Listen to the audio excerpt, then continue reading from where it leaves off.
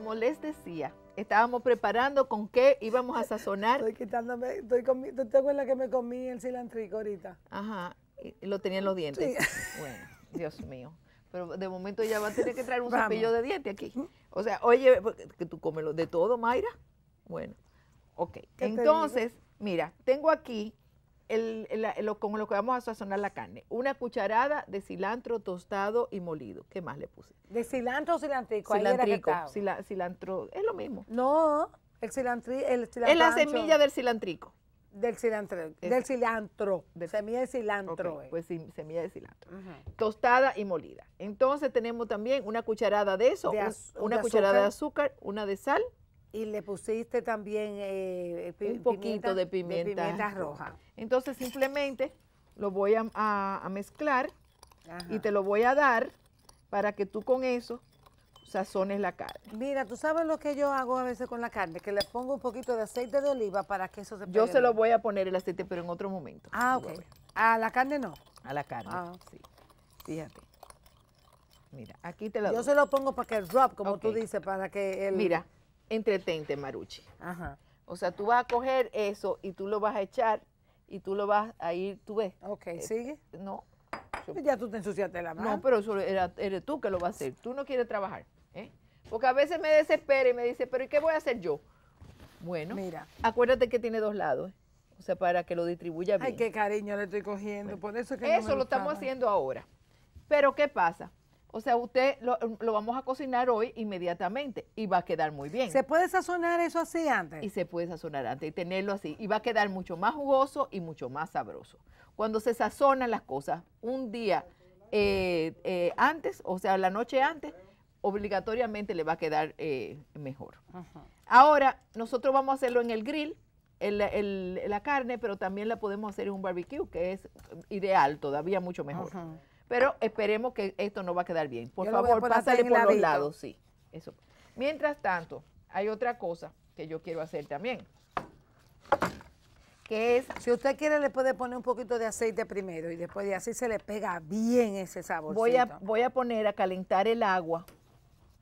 Voy a poner a calentar el agua para el maíz. Ahora, Hortensia, esto es un Dime. pedazo de carne. Eso te iba a decir. Eh, eh, eh, es un pedazo de carne grande y es como tú dijiste, es un pedazo de carne caro, ¿verdad que sí? Pero ¿qué pasa? Es, un- es mejor comprarlo así, o sea, de una pulgada y media o de una pulgada y pico, o sea, de, de- de espesor, para que la carne sea más jugosa y más blanda y más sabrosa. Porque no se cocina No, totalmente. Totalmente. Eh, y lo comparte con otra persona. En vez de comprarse dos pedacitos finitos, eh, que va a costar lo mismo, usted se compra uno grande y lo divide entre, la- entre dos personas, por ejemplo, o tres. Ya. loco. Yo no sé con cuántas que personas lo va a dividir. Espérate, porque ella, ella se va a poner chiquita. Ella se consume un poco. Ok, pero eso... Alex, ¿con cuánto? Con 12. Mientras tanto, Oíste, ¿Eh? con 12 personas. eso tiene una libra. Eh, le, toca a, le toca a una once pico por persona. Pues, bueno, si la comparten aquí con todo el mundo. Entonces, ahora tenemos la suerte de que hay maíz delicioso en, en lo- en el mercado. O sea, las mazorcas de maíz, Mayra, de aquí, son dulcísimas, Buenísimas. riquísimas, buenísimas. Vienen con su hoja. Yo le voy a quitar la hoja. Aquí hay muchos productos que están de muy buena calidad. ¿Tú has visto las ensaladas que vienen en las cajas?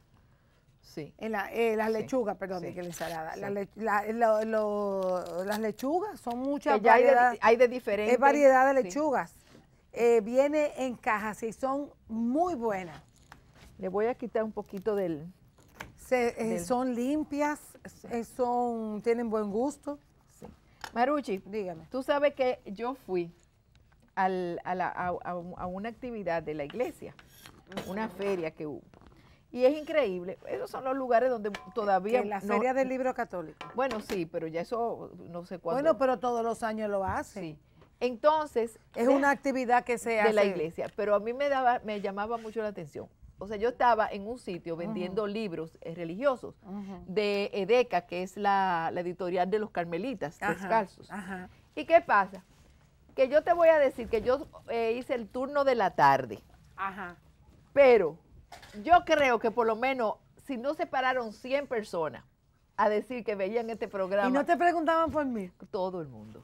Todo el mundo. A toda mi gente que yo no pude asistir a la feria, a esa Sí. actividad tan especial y tan enriquecedora, no pude ir por razones fuera de mi voluntad, Sí. pero que sepan que yo estaba de corazón. Óyeme, ella, ella hubiera querido estar ahí, claro que sí. Pero lo, que, lo bueno que es que eso es una fiesta de la iglesia, esa, esa, esa feria. Ahí tú, tú encuentras con todo el mundo, con todas las personas que, que llevan nuestra misma fe, y todo el mundo está contento, todo el mundo está orando, todo el mundo está con- canta- oyendo una canción, o sea, o está comprando un libro, o se está saludando con un hermano, se encuentra de una comunidad. Realmente maravilloso. Yo me encontré con Norma Vargas, que me lo dijo también, que había quedado buenísimo, y Sí, ella y estaba ellos tienen conmigo. también ahí siempre, ellos eh, exponen lo de Puerta del Cielo. Sí. O sea que ellos, ellos, ellos tienen su, su, Sí. su sitio. Eh, eh, también siempre hay, eh, son, eh, hay muchísima gente que todos los años, o sea, van y asisten y uno ya pues se conoce y se quiere. Pero me pasó una cosa muy graciosa. Lo que me pasó. Eh, resulta que viene una, seño- una familia con una, con una muchacha, o sea, joven. Ella, ella, yo diría que, no, yo sé la edad porque ella me lo dijo después. Pero después que ella me dijo que me vio y me dijo que yo me conocía y que la mamá también, que le- veía este programa, la mamá siguió viendo las cosas de la feria. Ella como que se quería quedar conmigo. Y yo le dije, pero ¿y ¿por qué tú no te quedas? Si yo estoy aquí solita. Bueno, pues ella se llama Scarlett. Ajá. Y déjame decirte que me sorprendió encontrarme con una muchita, 14 añitos, Mayra, en su primer año de bachillerato. Pero no solamente eso, que esa niña hace de todo. Es una muchachita que está criada con, con valores, o sea, por su mamá, eh, que, que, que- que se, que compartía con la familia muy bien. Pero ella ayudaba a su mamá en el trabajo, además de su estudio. Ella ayuda en la cocina, también cocina. Ella eh, hace eh, manualidades, o sea, pinta uñas, hace trencita, eh, pone cabello, o sea, ella tiene... Se el la busca. Se la busca el pluriempleo. Pero después que nos sentamos las dos a- en serio ya a hablar, me dice, yo quiero ser actriz. Digo, bueno, pero para eso hay que estudiar. Es Sí, yo quiero una beca en Bellas Artes. Ok. Ella iba a hacer un taller de, de arte escénico. Y además, o sea, ella me dice, y yo escribo también. Y digo, ¿y qué tú escribes? Fábula, cuentos, narraciones, de todo. Ella, ella una todóloga. Digo yo, pero mira, Pero es señor- muy talentosa. muy talentosa. Y entonces eso Tú esa niña no tiene espacio en su vida para estar pensando en otra en otra cosa más que en, en sus talentos. Pero lo que me gusta es que tiene ilusión, que era una muchachita joven, o sea, de- con deseo de hacer cosas, de realizarlo, que no tiene miedo, que no tenía vergüenza en, en expresarlo. Y yo estoy segura que ella lo va a conseguir, todo, Claro. todo lo que se propone. Así que Así, desde aquí que le damos, la, le damos a nosotros eh, la bendición a esa niña que se nos acercó de una manera tan agradable y que yo creo que sí, que tiene talento y que ella va a tener eh, éxito. Quizá algún día la traemos aquí al programa, quizá la traemos. Ay, porque, porque cocina. ella cocina también. Bueno, Muy pues ya tenemos el, el- el agua caliente, ya la tenemos calentita. Ajá. Yo simplemente voy a coger sal, le voy a poner un poco de sal al agua. Mira, hay gente que no le gusta ponerla al principio. Bueno. Pero, dije, porque se puede oxidar el alimento. El Pero es alimento. que yo, cuando tú ves los- el maíz que, que venden en la calle, es lo mismo. Ese es el mejor. Bueno, Ese es el mejor. bueno, eso, pues es, eso es un tanque de agua con sal. Eso es un hervido detrás de otro hervido y una sal detrás de la sal. Entonces, y queda buenísimo. Mira, el que tiene microondas, Yo le no voy a dar, le- yo no, yo sí tengo. Yo no tengo, no me mire. Yo tengo microondas. Pues la forma más fácil de tú cocinar el maíz en un microondas es tú coges y le pones como una pulgada de agua Ajá. y tú pones tu mazorca con el agua con un poquito de sal y tú pones tus mazorcas así peladitas como, la, como puse yo. Ajá. ¿Y qué tú haces? Por cada mazorca tú le das cinco minutos. O Pero sea, ¿dónde, ¿cómo tú lo pones? ¿En un, en un en envase? un envase, en un envase. Y tú no tienes que virarlo ni nada. Bueno, si yo le doy cinco minutos, doy medio minuto de un lado. Y lo viras. le- si tú Ajá. tienes dos mazorcas, le tienes que dar diez. Pones cinco minutos de un lado y cinco minutos del otro. Y ya tú tienes tu maíz. Pero aquí nosotros lo vamos a hacer de la manera eh, normalita. Más con el agua con un poquito de sal. Y ahí tienes nuestro, su- tu maíz ya peladito. Y lo vamos a dejar ahí que hierva hasta que se ponga un poquito suave. Bueno, pues eh, esto es eh, básicamente lo que tenemos hoy. Tenemos nuestra papa. ¿Tú, ¿Cómo vamos a ver que está? Cuando tú la pinchas y está blandita. Ajá, Tú la puedes- Exactamente. Entonces ya la papa está en proceso. Ya Y la, ya. papa, ya la papa está en proceso, el maíz, le voy a dar una, una, una cerradita para que se cocine más pronto. La carne ya está sazonada Y la carne va a estar lista en poco tiempo. en poco tiempo. O sea que, que- en el próximo segmento, Lo último que usted va a hacer el día que usted prepare una carne sí. es la carne.